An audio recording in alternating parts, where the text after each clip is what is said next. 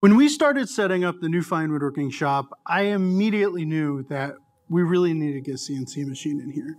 I didn't know why.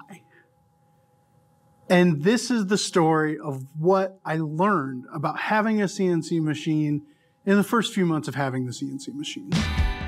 Check it out.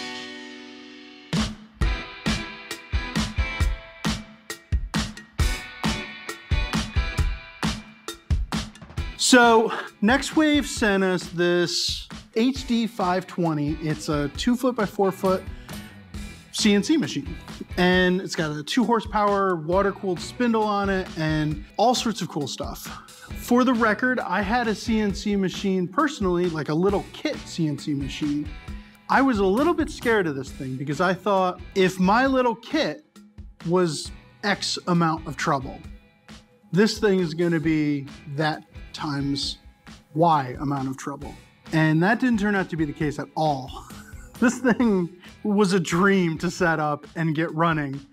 Um, and there was a lot of things that I was nervous about. I was particularly nervous about running VCarve on a PC. PCs and I don't get along. We just have this cheap little PC that our IT guy, I think, was getting ready to throw away. It's a barely functioning PC, but it runs VCarve just fine. It also runs the control software just fine in case you don't want to use this little uh, tablet thing or whatever that comes with the CNC. But first off, as soon as people had access to the CNC, they immediately started asking me to help them with the CNC. So right now, I need to start a cut for Mike Pekovich, who needs a router template done up for a class that he's teaching. So I'm gonna get that started. And while this is running, I'm gonna tell you about my experience setting up the CNC. First off, I had to get to work building a base for the CNC. I've seen people weld up big metal tables for CNCs, but I am a woodworker and I decided to try and make a really sturdy and heavy base for the CNC. So I started by milling up some ash. Here I'm running some grooves into the ash and these are gonna glue up into leg assemblies. So each of the four legs will be two pieces of eight quarter ash and this is gonna make for a very heavy, beefy base. And in those grooves that I milled in, I'm installing some eighth inch hardboard and that is just going to keep everything aligned when I glue up these L assemblies for each leg. And this worked beautifully. I mean, they came out as flush as you can want. So each of the legs is this big eight quarter ash L assembly.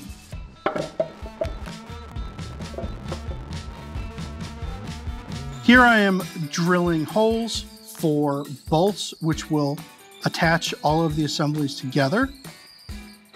And now I'm gluing in a piece of plywood between each leg on the side. And this is gonna keep the whole thing from racking.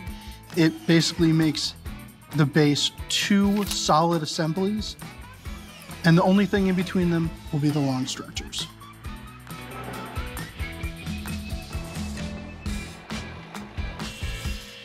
Now, in those long stretchers, I am embedding a dowel that's going to go cross grain from the stretcher. That will give me side grain to screw into with a lag bolt. So each leg gets two carriage bolts through the side of the stretcher and one lag bolt through the end of the stretcher into that cross grain dowel. I wanted to do this because it makes it simple to assemble. It doesn't require a whole lot of special hardware, but you could take it apart if ever needed, make it longer, make it smaller, do whatever you need to it, move it. It makes it a strong knockdown assembly. So that does it for the base of the CNC table. Um, I am missing one nut.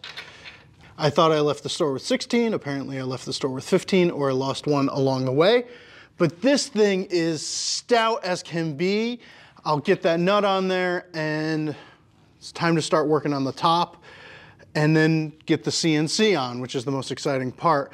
I'm really pleased with this base though. It is something that no heavy joinery. Um, just about anyone could do this with, you know, construction grade pine or, or fir or whatever you have available to you in a home center. Uh, I went with ash just because, quite honestly, I could justify it and it's heavier and I think it's going to be a little bit better, but I think that this design would work perfectly fine with uh, two by eights or two by sixes, whatever is available to you. And yeah, so onward. After putting a piece of MDF on the base just to serve as a place to put the CNC, I decided to assemble the CNC. I probably shouldn't have done this by myself. The folks at NextWave said you're going to need somebody to help you with the assembly just because everything's heavy, but I am stubborn. So I was able to wheel the CNC bed over to the table and just prop it right up there and slide it on. It wasn't that bad.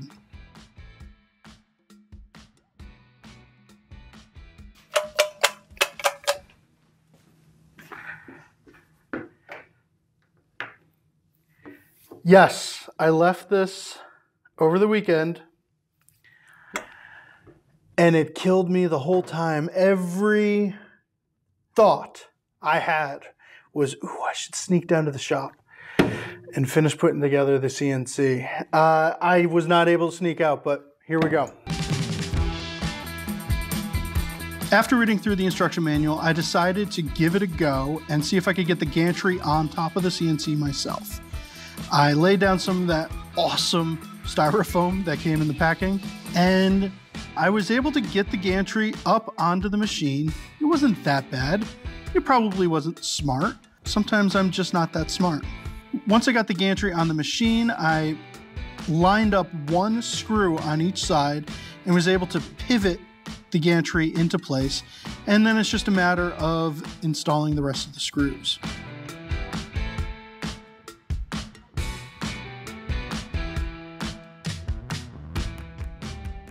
Just about the most finicky part of assembling the CNC machine was dealing with this cable run, this cable track. This bucket is filled with water, and that is for the water cooling of the two horsepower spindle on the NextWave. And this was nerve wracking. You've got some high technology items here, some electrical equipment with water running through it, and uh, it takes some getting used to. And you'll see a little bit later on that did bite me in the rear end a little bit. But I turned the machine on and just had a go. And it's a little bit nerve wracking the first time, but the NextWave control pendant is pretty intuitive and I was able to get everything running. I loaded some G code onto it from VCarve and hit go.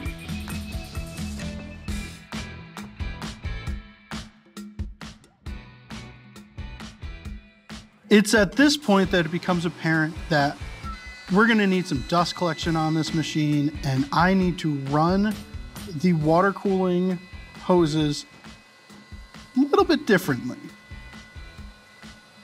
Don't make the same mistake I made.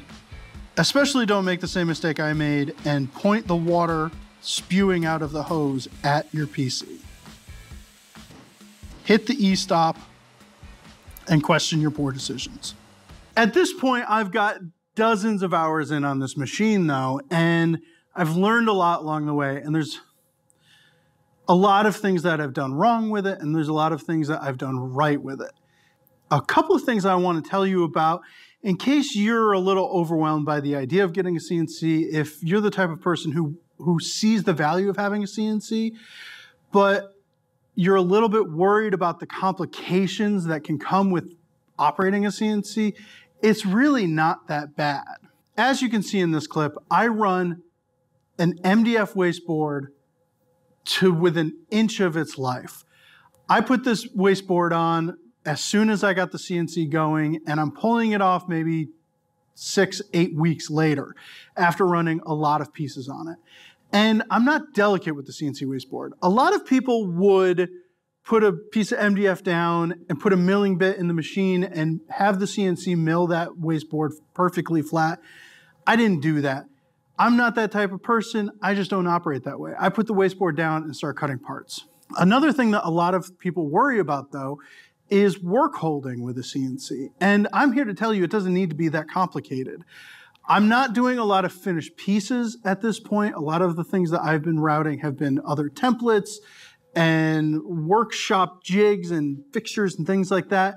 And I have just been working into my workflow holes. I drill those holes first and then I just simply screw down the piece to the bed of the CNC and I don't have to worry about double stick tape. I don't have to worry about milling tabs into my piece to hold everything together until I'm ready to take it apart at the end. I just put those holes in there, screw it down, and cut out my pieces. It's really, really simple. Here, I'm making mounts for dust collection hoses in the shop. I wanted to make about 10 of these. I decided I might as well make 16 of them. It took hardly any time at all. Once I had everything set up in VCarve, it was just a matter of hitting print or cut. And in about 20, 25 minutes, I had 16 of these pieces perfectly done. All I needed to do after this was spend five minutes sanding them and they're ready to go. I can mount them on the wall and drop dust collection hose right in them. So here is Mike's bending form, or not bending form, just drawing form. And I'm gonna bring this to him and make sure that this is what he thought it was when he put it into Illustrator. And if it's right, I can knock out, I don't know, probably 14 out of a sheet for his next class. And it won't be difficult to do this again next time he has another class. You don't necessarily know what you're gonna need a CNC for until the possibility for, for CNC parts exists. I found myself milling up channels for an inlay on an ukulele I was building. I've milled IKEA cutting boards into parts for a robot my son and I were making. There's countless different ways that I'm all of a sudden finding, oh, I could just do that on the CNC. And the more I use it, the more it naturally works its way into my workflow. And now I'm starting to see that happen with my coworkers as well. Somebody came down and they were watching me route something and they said, wait a minute, if I was going to do a pierced carving, you could hog away the middle sections for me that I would have a hard time doing with a fret saw and then I can just do the carving, huh? And I was like, exactly. But I'm going to teach them how to do it because they could do it too. Having a CNC doesn't need a techno mind. I am technically minded, don't get me wrong. But I think the desire to have a CNC is really all that you need. They're pretty easy to set up. This NextWave was incredibly easy to set up. I haven't trammed anything. I haven't calibrated anything. I basically put the gantry on, routed the cables, plugged it in, and went. And I'm sure there are a lot of people who would put more calibration into their machines, but it's just not the way I do things. I'm kind of a run and gun kind of person. So that's the way I'm doing this. And it's working just fine. I'm using it all the time. And I'm really, really glad to have this machine available here in the Fine Woodworking Shop. And my coworkers are starting to see why we have this machine here in the Fine Woodworking Shop as well. If you have any questions about how I set something up the way that I did or why I set something up the way that I did, or even feeds and speeds in VCarve for different materials I've been using, leave a comment below and I'll try and make a follow-up video. We're gonna do more woodworking with robots content here at Fine Woodworking. I know it's not everybody's cup of tea, but a lot of people are into it, so it's worth covering. Thanks so much to Nextwave for sending out this 520. It's a beast and we love having it here in the shop and it's really made a difference in my workflow. All right, have a good one.